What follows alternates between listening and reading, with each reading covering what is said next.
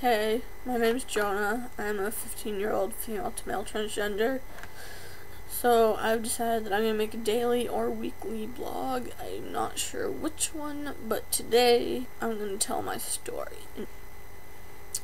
So, when I was three or four, I went to a day camp called Mount Ida. And in the camp, um, we had swim and um, they had all the boys and the girls changing for swim in the same room. And you realize that when you change for swim, you get completely uh, naked. And I can't stop looking at myself, but I should be looking at the camera. I looked at the boys and I was kind of jealous. I was like, that's what I want. And um, when I was 9 or 10, I met this girl my friend, whose name I won't mention, who wore boys' clothes. And I was kind of like, whoa, like, I thought if you're a girl, you wear girl clothes, if you're a boy, you wear boy clothes. But apparently, that's not always how it works. So once I realized that I'm allowed, that I could be, a, I could wear boys' clothes, I started kind of thinking and being like, what if I'm really a boy? Like, I kind of feel like a boy inside. But I didn't really think that was possible for that to happen or socially acceptable because I hadn't run into anyone like that. And then when I was when I was about 12 or 13 I had my first crush on a girl that I recognized as a crush. I'd liked girls before that, like my best friend, whose also name I won't mention, I liked her, but I didn't really realize that I was liking her because I didn't think it was. I didn't really think that was kind of possible.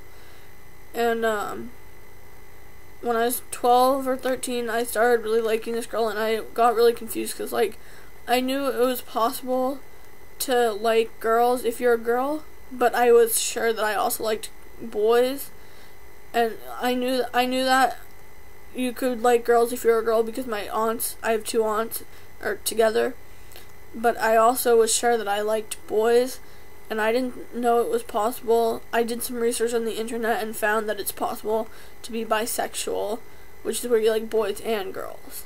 So that's what I finally decided I was, and that was, you know, that was good for a while. Until I was probably 14, and I wanted to come out to the world as someone who liked girls and I didn't want to be bisexual because I guess I just didn't want to be in between two things. I wanted to be straight or gay. I didn't want to be in the middle. So I told everyone that I was gay, and you know, people were pretty much cool with that. I mean, a few people had issues, but it was not a big deal. And then a few months after that, I came out to my mom as transgender after doing more re- research on the internet and finding out that there was such thing as transgender. And I kind of was standing at a counter with my mom one day in our kitchen, and I just kind of said casually, you know, I've never been really happy being a girl. And she just kind of said, okay. And, and then um, this past September, right before school started, I transitioned to male full time, therefore, thereby coming out to the world as transgender. Um, that brings me to now.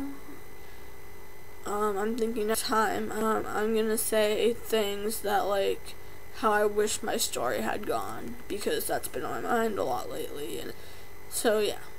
Thanks for watching, if you're watching at all, which I guess if you're at this part of the story, then you were watching, but okay, um, yeah, bye.